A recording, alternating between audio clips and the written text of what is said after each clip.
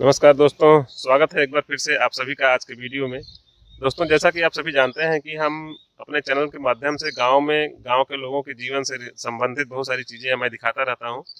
और गाँव में जो छोटे मोटे किसान होते हैं, वो अपनी किसानी कैसे करते हैं या किसानी करते समय क्या उनको चैलेंज आते हैं, क्या उनको तकलीफ़ होती है, क्या मुसीबतें या किस तरह से वो किसानी करते हैं किस तरह की दिक्कतें झेल करके लोग फ़सल पैदा करते हैं वो सारी चीज़ें मैं कई बार बताता रहता हूँ। उसी कड़ी में दोस्तों आज हम आपको धान की नर्सरी को तैयार करने में किसानों को गाँव के किसानों को किस तरह के चैलेंज उठाने पड़ते हैं उसके बारे में हम आपको बात करेंगे। और जैसा कि आप लोगों को नर्सरी की क्यारियाँ जो है पीछे दिखाई भी दे रही हैं तो चल चलिए आपको जो है आज के वीडियो में हम दिखाते हैं कि धान की नर्सरी को तैयार करने में आ, कितनी कितने चैलेंज लोग उठाते हैं, तब जाकर के धान की नर्सरी तैयार होती है। दोस्तों, धान एक बहुत ही मुख्य फ़सल है, क्योंकि धान से जो चावल पैदा होता है, वो बहुत बड़ी मात्रा में लोगों को पेट भरने में मदद करता है। और धान की फ़सल के लिए, धान की नर्सरी जो होती है, किसान सबसे पहले नर्सरी तैयार करता है और नर्सरी तैयार करने के बाद धान के जो पौधे होते हैं, उसको निकाल करके जिस भी खेत में रोपाई करनी होती है, उसकी रोपाई करता है तो सीधी सी बात है दोस्तों कि अगर धान की नर्सरी अच्छी है, स्वस्थ है, निरोगी है, मज़बूत है और अच्छी किस्म की है तो ही जो है धान की फ़सल की अच्छी होने की संभावना बढ़ती है और धान की नर्सरी को तैयार करने में कई तरह की मेहनत, कई तरह की मुसीबत, कई तरह के चैलेंज से किसानों को गुजरना पड़ता है और आज हम आपको उन्हीं सारी बातों के बारे में अपने आज के वीडियो के माध्यम से दिखाने वाले हैं। आपके सामने वीडियो में ये नर्सरी दिखाई दे रही। देखिए, यहाँ से वहाँ तक नर्सरी लगी हुई है धान की और आपको धान के पौधे भी ये दिखाई दे रहे हैं हरे भरे धान के जो पौधे होते हैं, बहुत ही नाजुक होते हैं, बहुत ही कोमल होते हैं और उनको पानी की जो है ज़रूरत हमेशा रहती है। इसीलिए आप देख पा रहे हैं कि यहाँ पर पंपिंग सेट के पाइप का व्यवस्था है। हर दिन इसको जो है, इसके माध्यम से हम अपने धान की क्यारी में, धान के नर्सरी की क्यारी में पानी से सिंचाई करते हैं। क्योंकि पानी की अगर कमी हो जाती है तो पौधे मुरझाने लगते हैं उनकी ग्रोथ अच्छी नहीं होती।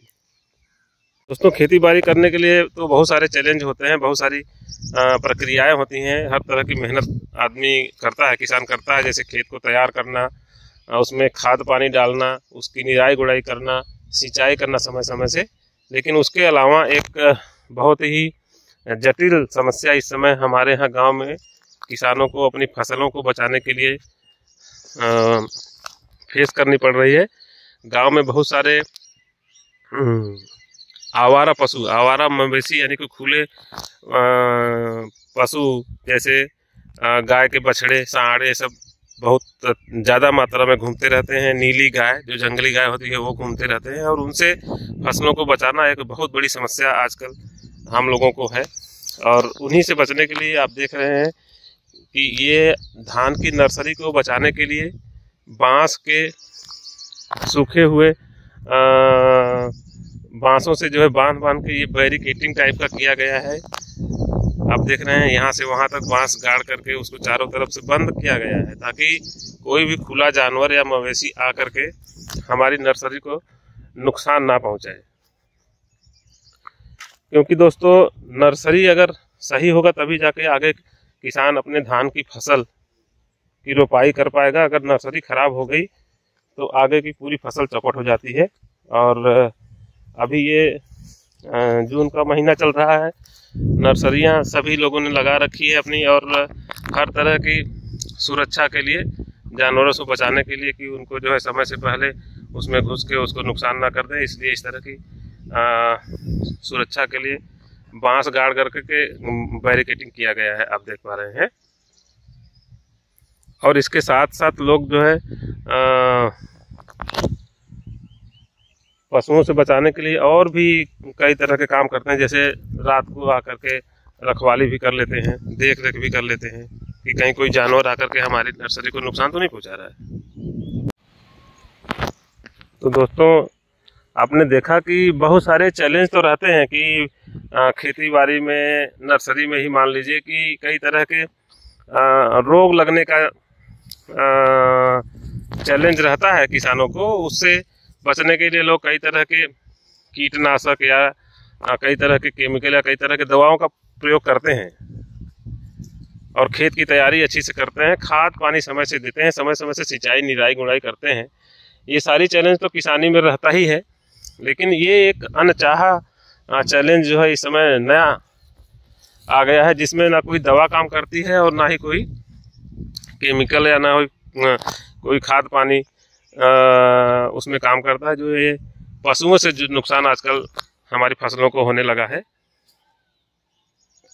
तो दोस्तों, ये देख करके आपको कुछ तो अनुमान लग रहा होगा कि खेती बाड़ी करना, अनाज पैदा करना कोई इतना आसान काम नहीं है।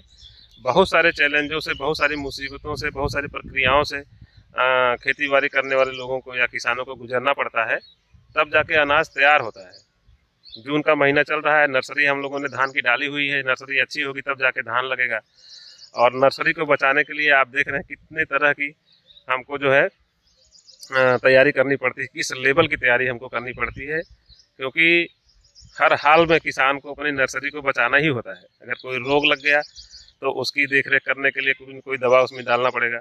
और कहीं पशु न खराब कर दे इसलिए इतनी आ, अच्छी तरह से इतनी तैयारी किसानों को करनी पड़ती है और इस तरह से बैरिकेटिंग लगा करके किसान अपने, हम लोग अपने जो है, नर्सरी की रक्षा करते हैं। आप देख रहे हैं।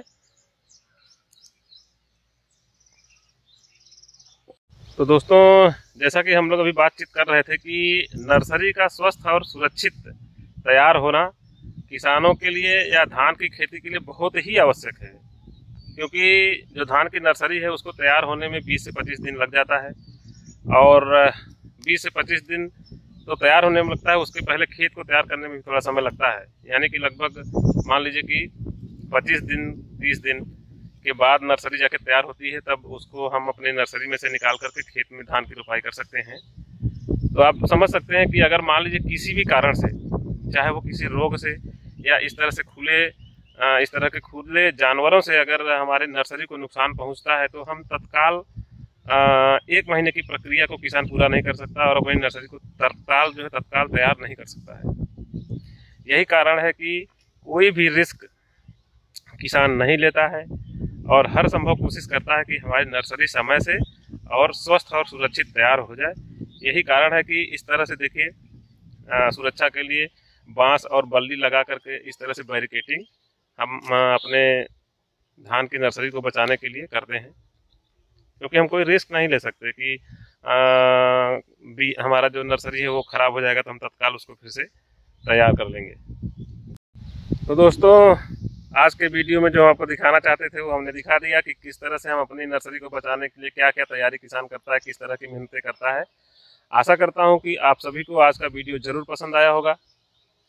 आप अगर हमारे चैनल पर नए हैं तो हमारे चैनल को सब्सक्राइब ज़रूर करें और हम अपने सभी व्यूअर्स से निवेदन करते हैं, प्यार भरा अनुरोध करते हैं कि आप हमारे वीडियो को शुरू से अंत तक देखा करें। वीडियो को लाइक किया करें शेयर किया करें अपने दोस्तों में, जान पहचान के लोगों में, ताकि जो भी चीज़ें हम गाँव की अपने चैनल के माध्यम से पहुंचाना चाहते हैं, अधिक से अधिक लोगों तक, उन तक पहुँच सके। और आप अपने कमेंट हमें ज़रूर दिया करें, क्योंकि वो हमारे लिए बहुत उपयोगी होते हैं आगे की वीडियो बनाने के लिए। तो दोस्तों, आज के वीडियो में बस इतना ही। हम मिलेंगे आपसे अपने अगले वीडियो में। कुछ नई जानकारी के साथ तब तक के लिए जय जवान जय किसान।